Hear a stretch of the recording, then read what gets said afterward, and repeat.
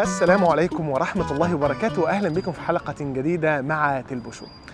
الحقيقة في ناس كتيرة بتبعت لنا بالذات الفترة الأخيرة دي بخصوص مسألة الاستقرار في ماليزيا وخصوصا الأسر اللي هي قاعدة في دول أوروبية وبتعاني الأمرين زي ما إحنا كنا شفنا في السويد وفي النرويج وفي بعض الدول وفي ألمانيا.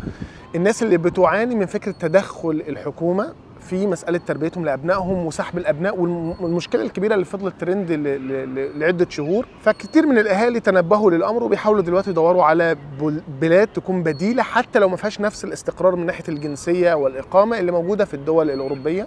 بيحاولوا ينقذوا أنفسهم وأبنائهم من تغول ال- ال- الدول الأوروبية دي بمؤسساتها. في تربية أبنائهم ومحاوله كمان إن هم ينتزعوا فكرة الإسلام من حياتهم أصلا. فأنا صراحة لما جيت حتى أفكر كده لو كتبت ماليزيا كده على جوجل وطلع لك حاجة طبعا غير فيديوهات أنا بهزر طبعا. وطلع لك حاجة مثلا زي ال- ال- ال- الجروبات العربية مثلا على الفيسبوك هتلاقي الناس ما بين إفراط وتفريط. ناس يعني عندها نظرة تشاؤمية سوداوية للحياه في ماليزيا بس أنت اكتب في أي جروب عربي أنا عايز أجي ماليزيا. هتلاقي العشرات اللي هينفروك من القدوم بالإضافة للسوداوية كمان يعني الس- السواد القاتم في النصيحة. وأنا طبعا مقدر الناس اللي بتقول الكلام دوت وأنا يعني هفصل في المسألة دي وإحنا بنتكلم. وما بين ناس تانية بتخليك الموضوع مهلبية يعني عادي وتعالى وأنا جيت واشتغلت وعملت وسويت. فتكاد ما تعرفش تمسك الموضوع من من النص يعني من الواقع زي ما بيقولوا. وهم وإذا كان صراحة وإن كان يعني الناس اللي هي بتديك صورة وردية زيادة عن اللزوم دول قلة قليلة في الصراحه في المجتمعات العربية ولكن هنتكلم ليه يعني؟ فالحلقة دي أنا عاملها علشان الناس اللي عايزة تهاجر بمصطلح الهجرة ده لماليزيا تفهم الوضع في ماليزيا عامل إزاي. تفهم إيه صعوبات الإقامة طبيعة الحياة ليه في ناس شايفة الوضع سوداوي جدا في ماليزيا طب نعمل إيه؟ كل الحاجات دي إن شاء الله هنتكلم عنها في الحلقة النهارده. أول حاجة في حلقة كنت عملتها من فترة وهي عملت مشاهدات عالية بفضل الله في قناة البشو بس أنا يعني عشان كنت بنقل خد فكرة لمكان تاني حطيتها في قناة خد فكرة وكنت بتكلم فيها عن أفضل بلد للاستقرار ليكم وللأبناء وأبنائكم يعني. وأنا بتناول فيها الموضوع من وجهة نظر مختلفة شوية. أتمنى تتفرجوا عليها عشان هتلخص كتير قوي من اللي أنا ممكن عايز أقوله في الحلقة دي وتوضح لكم وجهة نظري في النظرة لفكرة الاستقرار. ماليزيا ليست بلد للاستقرار وإنما هي بلد ترانزيت. بلد تقدر تيجي تقعد فيها سنة سنتين ثلاثة أربعة خمسة ستة وبعد كده خلاص. مش هتقدر تستمر لأن هي بلد لا تمنح إقامة دائمة إلا في أضيق الحدود ولا تمنح جنسية لا في أضيق ولا في أوسع ولا في أزنق الحدود. مفيش موضوع الجنسية ده صعب جدا في ماليزيا. فماليزيا بلد لا تمنح أي شكل من أشكال الاقامات تشبه لحد كبير جدا دول الخليج مع ال- الأجانب. مفيش أي حاجة. أنت بتيجي بتعيش عشت 20 سنة هنا زي عشت سنة. آه، كلها محصلة بعضيها يعني. وبالتالي هي دولة ترانزيت. وأنا أرى زي ما قلت في الفيديو عشان ما أقعدش أعيد الكلام دوت في ظل الوضع الحالي اللي بنعيش فيه في العالم فكرة إن الواحد يخطط لخمس ست سنين دي ده راجل يعني متفائل زيادة عن اللزوم بصراحة. يعني أنا شايف إنك أنت دايما تخطط لسنة أو سنتين على أكثر تقدير لأن الوضع متغير وإيقاع التغيير آه، سريع وصعب جدا يعني مش فما تقدرش تآمن إنك أنت في مكان خاص هتقعد فيه forever مثلا خلاص بقيه حياتك.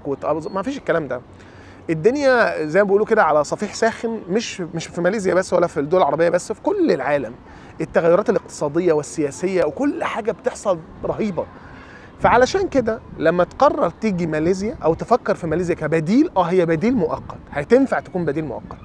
طب ليه بقول هتبقى بديل مؤقت؟ لأن زي ما قلت دولة لا تمنح إقامات دائمه ولا أي حاجة فمش هينفع تخطط فيها على على المدى الطويل.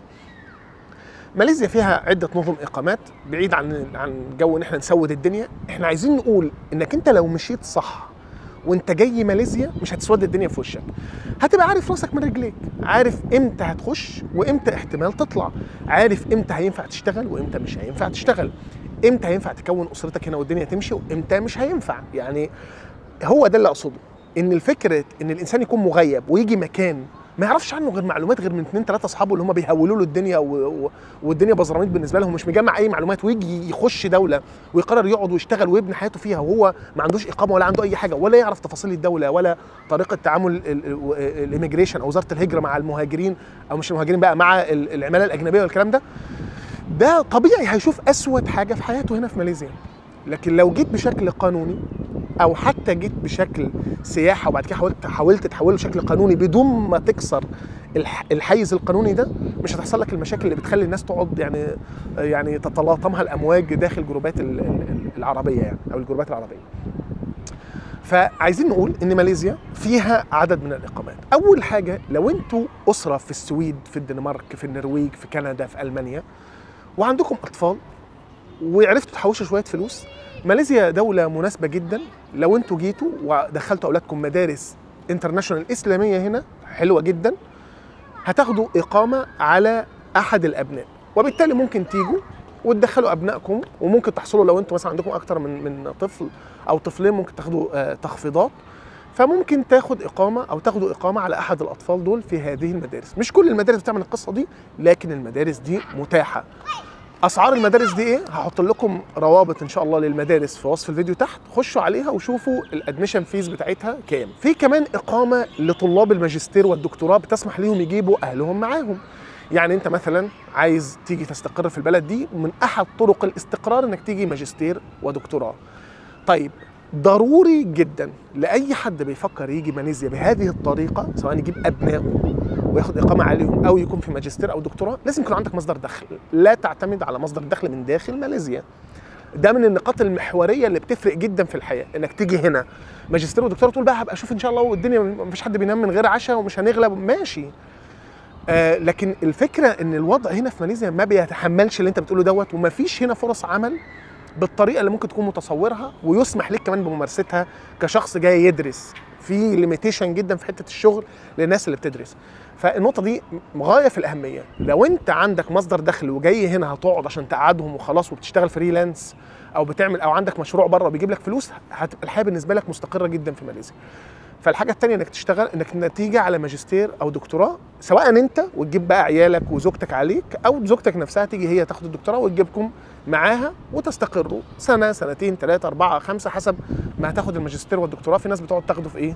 في سبع سنين والحاجات ديت يعني. الحاجة اللي بعد كده هوت هي. آه ال... ال... الإقامة اللي كلنا بنسمع عنها ولكن هي توقفت دلوقتي هي إقامة ماليزيا بيت التاني. ودي بتيجي عن طريق إنك تشتري عقار في ماليزيا أو تش- تشارك بموضوع الفلوس. يعني ممكن تتبعوها تراقبوها. برضه أحط لكم الموقع الرسمي بتاع ال- البلد في موضوع ماليزيا بيت التاني.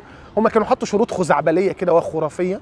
لا تصلح إلا لمستوى الناس اللي هي يعني يعني نايمة صاحية على تل فلوس صراحة اللي هو الجديدة يعني أقصد. فتابعوها لو غيروا في الشروط هتكون برضو حل مناسب لأن هي بتدي 10 سنين إقامة في ماليزيا. الحاجة اللي بعد كده وهي إقامة العمل. في إقامة عمل في ماليزيا وفي وظائف لتخصصات معينة ومحددة. أنا دايما بقول بحكم شغلي إن مجال ال IT في طلب عالي عليه في ماليزيا ولكن الفترة اللي فاتت كان في تعقيدات شوية من ال immigration في السماح للناس إن هي تيجي وتشتغل وتعمل وإن هي تسهل للشركات.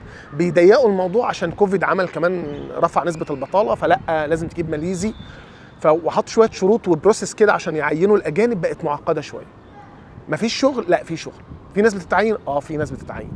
النسبة ق- قلت حسب معلوماتي. آه قلت لكن لا زال في job. ممكن ناس تجرب تقدم عن طريق LinkedIn موقع JobStreet موقع Indeed وتشوف إن في فرص إن هم يجوا وياخدوا إقامة لمدة سنة سنتين برضه شغل في ماليزيا. في كمان فكرة المدرسين والمدرسات ودي يعني عاملة زي سرسوب المية. لأن المدارس العربية هنا صغيرة مش كبيرة. وفي الآخر التدريس لو أنتوا عايزين تشتغلوا هنا في مدارس international مثلا آه، م- م- سواء ماسكة آه، شغالة كامبريدج أو شغالة امريكان وهم أجانب كلهم فلازم تكون أنت عندك value عاليه قوي هتديها لهم عشان ياخدوك أنت كعربي. لغتك كويسة عندك مثلا اللي هو qualified يعني بشكل كبير عشان هم يشغلوك معاهم. عايز تشتغل بقى في ال- في المدارس العربية؟ آه، الفرص ال- ال- العرض كتير والطلب قليل. فيعني تصور الموضوع بيبقى ماشي إزاي. آخر حاجة وهي الإقامة اللي كنت اتكلمت عنها من كذا يوم وهي آه، أو من كذا شهر. وهي إقامة ال DE Rantau ودي إقامة لل freelancer والناس اللي شغالة في ال digital IT هحط لكم الرابط بتاعها. أنا متكلم عنها بالتفصيل وإزاي تاخدها الإقامة ديت وإزاي تح أو تحصل عليها يعني وإزاي ترتب أمورك ليها. طيب خلينا نقول إن إحنا قلنا ده كله حد آه طبعا لو حد ليه أي سؤال يكتبوه في التعليقات تحت وأنا إن شاء الله تعالى لو ما بلاقي الأسئلة متكررة يعني كتيرة ومش متكررة بعمل فيديو تاني وبرد عليه. لكن خلينا نقول مثلا إنك أنت خدت أي مسلك من المسالك اللي إحنا قلنا عليها دي دلوقتي. طيب إزاي أجي ماليزيا؟ في فيديو أنا لسه منزله من كام يوم. آه الفيديو ده متكلم فيه تفصيليا إزاي تنتقل من الدار إلى الدار. من الطيارة من. تاخد الطيارة من باب الدار في بلدك لباب الدار في ماليزيا. في كافة التفاصيل المهمة اللي ممكن تحتاجوها بداية عشان تعرفوا تنقلوا حياتكم إلى ماليزيا. طيب المعيشة في ماليزيا برضو في فيديوهات قديمة بس أنا بعمل لها تحديث دلوقتي إن شاء الله تعالى بتتكلم عن التفاصيل الدنيا يعني مالها ضلمت كده و يعني مش كده يا جماعة. ال ال في فيديوهات عملتها بس قديمة فيها تفاصيل المعيشة هتساعدكم شوية وفي فيديوهات إن شاء الله هتنزل قريبا هيكون فيها تفاصيل المعيشة بكل التفاصيل ممكن تتخيلوها السوبر ماركت هتعرف الأكل والشرب فيه بكام فتعرف تعمل حسبتك بشكل تقريبي لكن أنصحكم بمتابعة القناة عشان تعرفوا تفاصيل أكتر عن الحياة الآسيوية الحياة الآسيوية مختلفة بجد اللي بينقل من أوروبا أو من دول عربية محتاج يجي ماليزيا ينزل يشيل ال Windows القديم بتاعه ده وينزل Windows آسيوي جديد عشان يعرف يتأقلم مع الحياة في ماليزيا. ماليزيا جودة الحياة فيها كويسة جدا ولكنها مختلفة تماما عن ما اعتدنا عليه كعرب. وبالتالي الانتقال لماليزيا لدولة آسيوية بيحتاج شوية جهد وتغيير في ستايل الحياة شوية وتأقلم مع طبيعة الأكل والشرب والخضروات والفواكه والجو اللي موجود في ماليزيا. آخر نقطة عايز أقول عليها وهي نقطة مهمة إن إندونيسيا بتمثل جانب آخر لانكم أنتم ممكن تستقروا فيها وعندها تسهيلات زي تركيا كده شوية في موضوع الإقامات إن هي بتعمل إقامات لمدة سنة وسنتين ما عندهاش التعقيدات قوي اللي موجودة في ماليزيا من ناحية الإقامة والاستقرار فيها قد يكون على الوقت المدى الطويل يكون أفضل من ماليزيا. النقطة المهمة برضو اللي ممكن ما ذكرتهاش موضوع اليمنيين والسوريين والعراقيين اللي بيعتمدوا على فكرة اللجوء للدول الغير مسلمة وبيواجهوا مشاكل كتيرة. ماليزيا دولة مش ماضية على اتفاقية اللاجئين ولكن في ناس بتبقى موجودة على بطاقات اليو إن لكن بدأت تتلغي وبدأ يبقى فيها مشاكل والأوضاع الاستثنائية اللي كانت معمولة زمان ما بقتش موجودة دلوقتي. ما بين السطور في ناس بتبقى قاعدة وموجودة وبتشيل بطاقات ال UN دي اللي هي معاها اللي هي طلعتها وبتتعامل بيها ولكن محظور إنك تشتغل ببطاقه ال UN. يعني شو هي دي المشكلة شايفين؟ محظور تشتغل ببطاقة ال UN. فبالتالي الدنيا فيها شوية تعقيدات. لكن قد يكون للناس اللي بتدور على حلول آه وقتية وأنا بنصح دايما بده وبقول لكم اتفرجوا على الفيديو اللي أنا كنت بقول لكم عليه في خد فكرة مهم جدا في الحتة دي. أنت أهم حاجة تحافظ على على دينك وتحافظ على على هويتك دي نقطة غاية في الأهمية ليك ولأبنائك.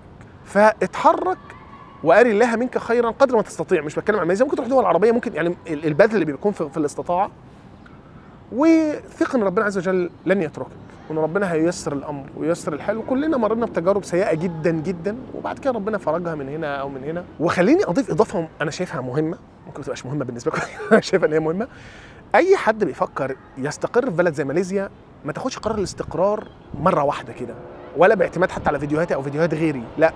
رأيي دايما لو شوية فلوس بس تضحي بيهم إنك أنت تيجي تقعد شهر أو شهرين تحجز لك مكان عن Airbnb أو أي مكان بسيط ما يبقاش مكلفك كتير واقعد في البلد شوية. اقعد مش شهر مش أسبوع ولا أسبوعين لا اقعد شهر أو شهرين في البلد. اقعد قدر ما تستطيع عشان ممكن واحد يقول لي ما عنديش إجازات ما قدر ما تستطيع. عشان يتكون في ذهنك صورة شبه متكاملة عن الوضع. عشان تعرف هتنفع تنقل حياتك هنا ولا لأ. دي أنا شايفها برضو مهمة جدا للناس اللي بتفكر تنتقل من من من بلد إلى بلد أخرى. أتمنى يكون الفيديو ده يعني قدم تصور عن الوضع اللي موجود هنا بشكل مبسط. ولو برضو قلت في أي حد ليه أي أسئلة اكتبوها في التعليقات تحت. وإن شاء الله تعالى نرد عليها في فيديو منفصل. ولا تنسوا الإعجاب والاشتراك لأن ده بيدعم إن الفيديو يظهر في الترشيحات للناس. وأراكم إن شاء الله تعالى في فيديوهات قادمة. والسلام عليكم ورحمة الله وبركاته.